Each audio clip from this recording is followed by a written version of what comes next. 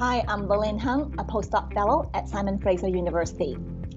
And my project is about uh, using technology to improve safety and quality of dementia care in a hospital setting. Staying in the hospital can be very stressful and even frightening for people with dementia.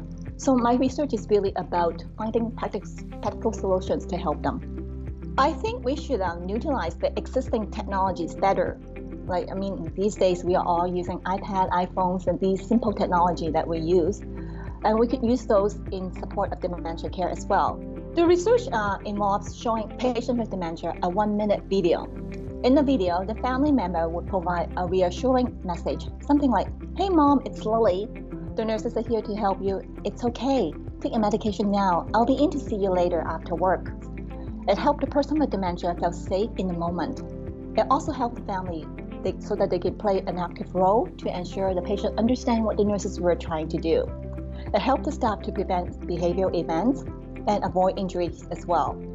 If we are able to help the person with dementia in the hospital understand what's going on, they're safe, if we can put family in the front seat to work together in partnership with the clinicians, the patients get better care.